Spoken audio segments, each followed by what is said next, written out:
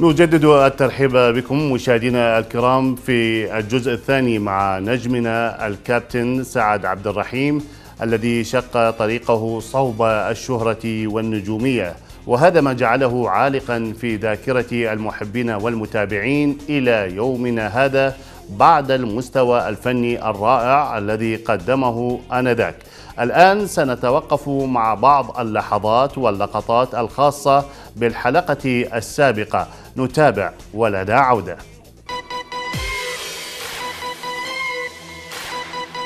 سعد عبد الرحيم من النسخ النادرة والعمل الصعبة التي مرت بها الكرة الزورائية سعد عبد الرحيم بيستغل خطأ. أيام ما كان لاعب كان لاعب مميز كان يسجل أهداف من أماكن صعبة. في تلك الفترة أنا من وجهة نظري أحس أنه ما كانت في رعاية خاصة لسعد عبد الرحيم حتى أنه يساعدوه أن يكون كأحد آه، لاعبي المنتخب الوطني. وعادل عقلوة أمام المرمى وهدف جميل ملعوب مرسوم للزوراء سعد عبد الرحيم. جميل ملعوب مرسوم للزوراء أهلا بك من جديد آه، كابتن سعد لنكمل حوارنا الشيق معك. لأن بالتأكيد آه، المهتمين لمسيرتك بانتظار ما سنتحدث به ال- اليوم عبر هذا آه، اللقاء آه، سؤالي آه، التالي كنت أحد لاعبي المنتخب العسكري المشارك آه، في تصفيات بطولة العالم العسكرية آه، التي أقيمت في دولة الإمارات عام آه، 88 ماذا آه، تركت البطولة لك من ذكريات وماذا قدمت أنت خلال البطولة؟ الحقيقة أستاذ بلال يعني يعني مسألة دعوة اللاعبين لأي منتخب كان وضمن أي فئة يعني هو يعتبر تشريف يعني ويعتبر أيضا آه، تقدير ل- لإمكانيات اللاعب وقدراته. فالحقيقة في تلك الفترة يعني كانت مجموعة يعني متميزة بالمنتخب العسكري وكان على رأس الجهاز الفني الكابتن عبد الإله عبد الحميد. وضمت نخبة نخبة من اللاعبين المتميزين يعني أمثال الكابتن عدنان حميد كابتن رحيم حميد عماد جاسم حسن كمال ومحمد عبد الحسين. لاعبين يعني الحقيقة يعني ما تسعفني الذاكرة أنه أذكر الأسماء كل مع احترامي وتقديري لكل الموجودين في تلك الفترة. فالمنتخب كان متمكن وعلى مستوى عالي من ال- ال- القدرة والأداء. يعني اللي اللي تركه طبعا هذا هو يعتبر يعني تعرفوا يعني مسيرة اللاعب يعني يفتخر دائما في هو يكون ضمن ضمن فئة معينة أو ضمن منتخب معين. فتجربة أنه أكون متواجد مع المنتخب أكيد أضافت لي الكثير على المستوى الشخصي وعلى المستوى المهني إضافة إلى ذلك الاحتكاك مع مستويات عالية من المنتخبات والتواجد أيضا في في في بيئة رياضية على مستوى عالي من ال- من ال- المسابقات أكيد أضافت الكثير وزادت من خبراتنا أيضا. وهذا من ما انعكس حقيقة بعد ما أنت تنتهي البطولة مثلا. ولو أن المنتخب العراقي ما استمر حقيقة لأن نتيجة المباراة يعني آه، أهلت المنتخب الإماراتي أنه هو يستمر في البطولة. لكن على المستوى الشخصي وعلى المستوى المهني أضافت الكثير من الخبرات ومن اللي انعكس هذا على مستوانا أيضا لما رجعنا من البطولة آه، في مسيرتنا في الدوري. طيب آه، كابتن نتحول إلى نادي الرشيد حيث كنت أحد لاعبي آه، الفريق طبعا المشارك ببطولة تصفيات الأندية الآسيوية الثامنة لأبطال الدوري عام آه، 88 آه، والتي أقيمت في الصين. آه، تأهل نادي الرشيد إلى النهائيات. كيف كانت الأجواء آنذاك؟ وكيف تمكن آه، فريقكم من التأهل؟ ال- الحقيقة أنت عارف في تلك الفترة نادي الرشيد كان معظم اللاعبين هم لاعبين المنتخب الوطني. يعني كل اللاعبين المتواجدين ضمن المنتخب الوطني هم كانوا ضمن نادي الرشيد. آه، مشاركتي مع النادي الرشيد الحقيقة يعني جدتي على ضوء المستوى اللي أنا قدمته في نادي الزوراء فهم أشاروا ضمن توجيه أيضا من رئيس الاتحاد في تلك الفترة أنه سعد عبد الرحيم يفترض أن يكون متواجد مع نادي الرشيد والحقيقة هم نادي الرشيد استعان بثلاثة أعتقد آه، أنا من من نادي الزوراء والمرحوم الكابتن علي حسين الله يرحمه من ويغفر له الطلبه نعم. أيضا آه، اختاروه وفي لاعب ثالث آه، ما تسعدني الذاكرة حقيقة. آه، أخذونا كاستعارة إنه إحنا نكون موجودين ضمن نادي الرشيد. والكابتن في ذيك الفترة كان أعتقد أكرم سلمان وجمال صالح أعتقد هم كانوا على رأس الجهاز الفني في تلك الفترة. حقيقة صدر نادي الرشيد تلك ال- البطولة نعم. في التصفيات. والمجموعة مالتنا كانت حقيقة أيضا يعني مو بذيك الصعوبة. أنا أتذكر كان فريق من ال- الهند أعتقد يمكن في ذيك الفترة وتغلب عليه نادي الرشيد 6-0 نعم. وأنا كنت موجود وحاضر. عماد هاشم أيضا كان موجود تذكرت الحين. من نادي كحارس. مرمى. نعم. أي عماد هاشم أيضا كان موجود كحارس مرمى في تلك الفترة. كانت آه، مشاركة مهمة طبعا مشاركة مهمة. وأيضا مثل ما قلت لك اضافت لي الكثير خصوصا على المستوى الشخصي. زيادة الخبرات الاحتكاك مع مستويات معددة مع آه، نماذج لعب وفرق مختلفة آسيوية. آه، تواجدي أيضا مع كوكبه من اللاعبين اللي على المستوى العالي. أيضا أضاف إلي الكثير. وهذا أيضا انعكس ايجابيا على مستواي في في الدوري. لما رجعنا يعني المستوى أيضا مالتي ارتقى والكيرف خلينا نقول المنحنى منحنى الأداء مالتي أيضا كان في صعود مستمر بعد تلك المشاركة في تلك البطولة اللي أقيمت في الصين. ممتاز. كابتن آه، إليك الآن ما قاله عنك الزملاء والمختصين آه، بالشأن. سنتابع ولنا عودة خليك ويانا. سعد لاعب من طينة اللاعبين الكبار بدون مجاملة أعتبره لأن له آه، له بصمات في كل مباراة أهدافه الجميلة اللي كانت آه، مستمرة خلال آه، كل مباراة صناعته للأهداف الحلول الفردية اللي كان يتمتع بها اللي كان ما يمتلكها الكثير من اللاعبين لكن كانت متواجدة عند الكابتن سعد عبد الرحيم وحسم كثير من المواقف والمباريات الصعبة تسديداته القوية اللي كانت حقيقة يعني لها تأثير كبير خلال أدائه وسجل منها عديد من الأهداف. أمنياتي القلبية للكابتن سعد عبد الرحيم بالتوفيق إن شاء الله في مسيرته آه، القادمة. آه، وتحياتي لهذا البرنامج الرائع برنامج صدى الرياضة والأخ العزيز الأستاذ بلال بدار آه، كابتن سنكون الآن مع بعض الأسئلة السريعة والخفيفة مباراة لا زالت عالقة بذاكرتك ولماذا؟ والله الحقيقة المباراة اللي اللي ما أنساها ودائما هي في بالي هي ال- المباراة وأعتقد أكثر الجمهور الرياضي يعني لحد اللحظة ولو هي اقيمت في في في عام 1990 يعني ال- ال- المباراة صار لها كم سنة؟ يعني صار لها تقريبا 30 سنة. أي تقريبا. اللي اللي اللي قيمت في ضمن بطولة مجلس التعاون العربي الثانية بمشاركة أربع فرق ال- الفيصلي الأردني وأهلي صنعاء اليمني والإسماعيلي المصري ونادي الزوراء العراقي. المباراة اللي قيمت بين الإسماعيلي المصري ونادي الزوراء العراقي. اللي انتهت بالتعادل لأن إحنا كان يخدمنا التعادل لكن النادي الإسماعيلي كان يهم الفوز حتى أتذكر ياخذ آخر البطولة. آخر لحظات أنت حضرتك سجلت الهدف. آخر لحظات. هو هذا اللي اللي اللي يعطى قيمة للمباراة وأهمية وظلت عالقة في ذاكرة الجمهور لحد اللحظة. هي 31 إنه- سنة تقريبا. يعني 31 سنة ولي هسه يعني الأجواء تلك المباراة يعني نعيش بنشوة من نتذكرها.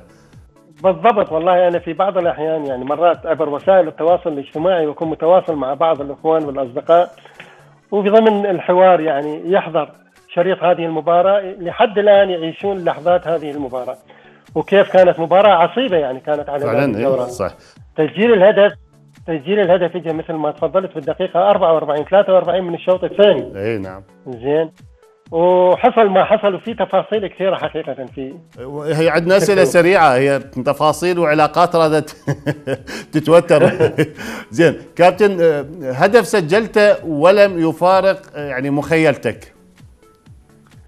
أنا ال- الحقيقة من الأهداف الجميلة اللي سجلتها على نادي الطلبة. على نادي الطلبة حقيقة هدف يعني لو يكون يعني هذا الهدف موجود في الوقت الحاضر لكان يمكن يكون من أجمل الأهداف.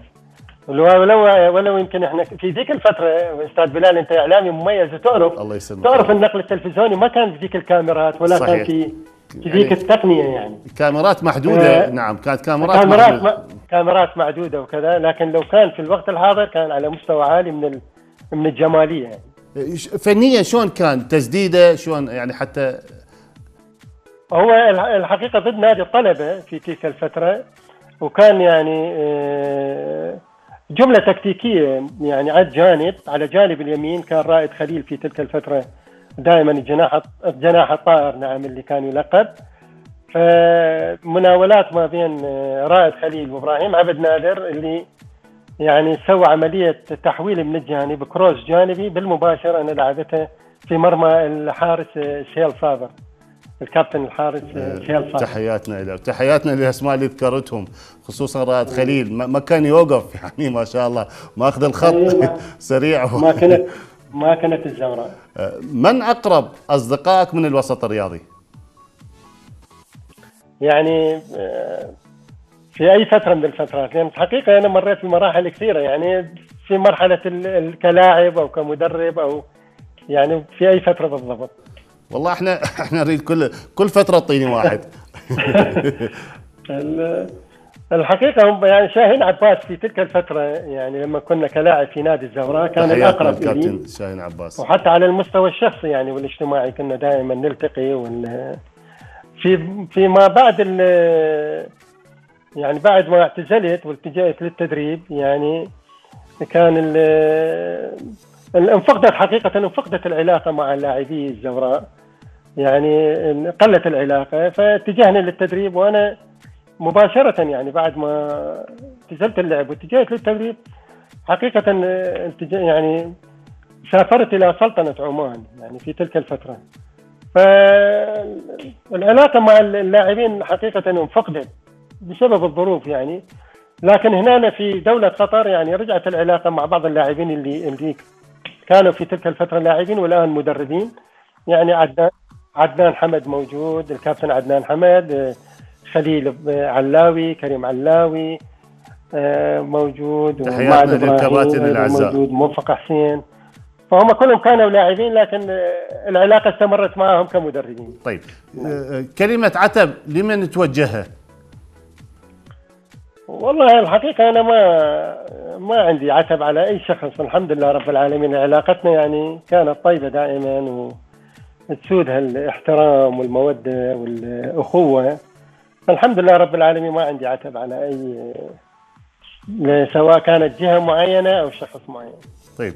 آه، لدينا بعض الأسئلة وأرجو منك لأن الوقت معك يعني ممتع. لذلك آه، يعني سرقنا الوقت صراحة. لذلك عندي بعض الأسئلة المهمة لابد أن يعني أتحاور مع حضرتك. نعود بحوارنا ثانية إلى الأحداث والذكريات.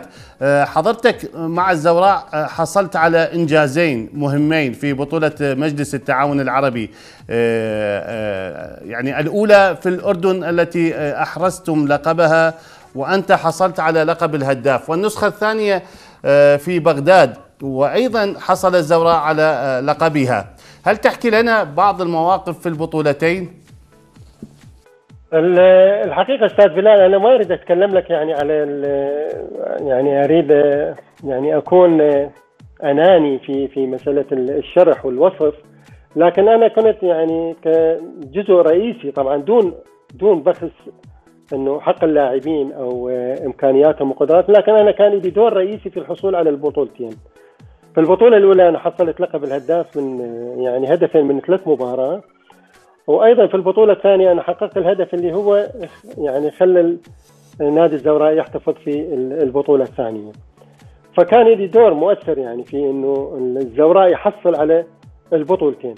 المواقف اللي اللي حصلت ذكرت لك أنا في البطولة الثانية اللي مع النادي الإسماعيلي وما حصل فيها من يعني المباراة وقفت خصوصا في مع الإسماعيلي لمدة عشر دقائق ربع ساعة مثلا في سبيلاني في حققت الهدف وجبت التعادل لأن هم كانوا معترضين على أساس إنه في حالة فاول حصل في منطقة جزانا وقريب منطقة الجزاء وارادوا إنه يعني يخرجون المباراة من الإطار العام مالتنا لأن الزوراء كان متفوق.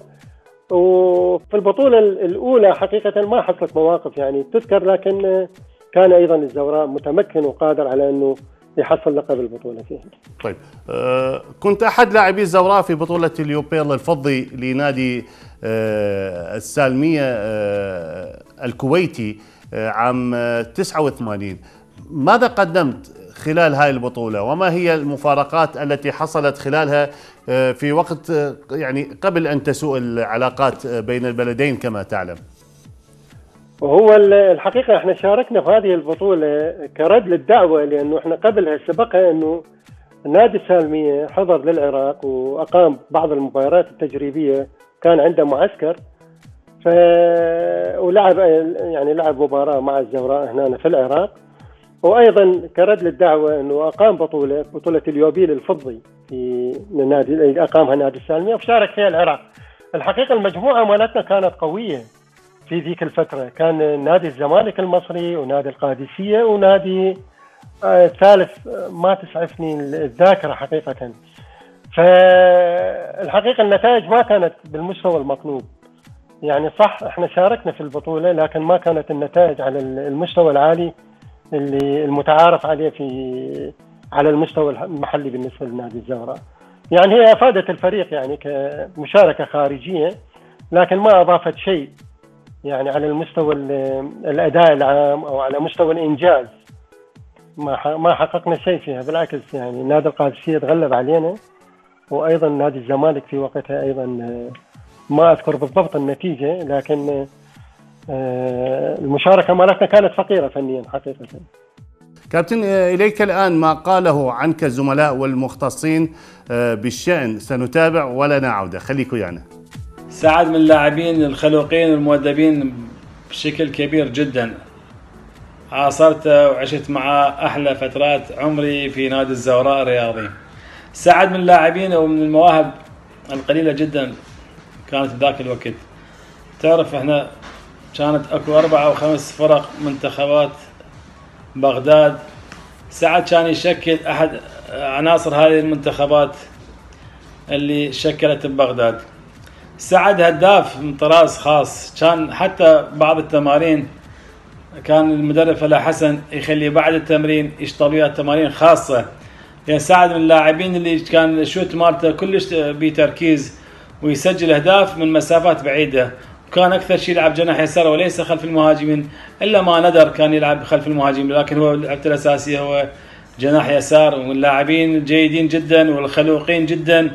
وأنا الحمد لله واشكر عاصرته قلت لك وشفت وياه عشنا فترة ذهبية بنادي الزوراء هو وباقي اللاعبين إخواني. أتمنى له الموفقية والنجاح بحياته العملية التدريبية. مناولة واستلام جميل. رائد يناول ويستلم. وعادل عقلوة أمام المرمى. وهدف جميل ملعوب مرسوم للزوراء سعد عبد الرحيم. وهدف جميل ملعوب مرسوم كابتن يعني ونحن نتحدث عن الزمن الماضي وهذه الإنجازات وهذه المشاركات لماذا انزويت بعيدا عن الأضواء والإعلام بحيث اليوم يعني أعتقد أغلب مشجعي ومتابعي جيل اليوم لا يعرفون من هو سعد عبد الرحيم، يا ترى ما السبب؟ والله أنا قلت لك أستاذ بلال في بداية حديثنا يعني الظرف العام مثلا اللي هم يسموه الظرف الاقتصادي والسياسي دائما هو يلقي بظلاله على على يعني خلينا نقول على تواجد المدرب مثلا أو تواجد اللاعب على الساحة الرياضية. أنا تركت تركت العراق في 2002 في 2002 وفي تجربة احترافية في سلطنة عمان امتدت لدى 2012 وانت عارف يعني خلال هذه الفترة الظروف اللي مر بها العراق والتغير اللي صار على مستوى البلد ف شوية صار في يعني خلينا نقول فتور فتور بالضبط يعني صار في فتور و...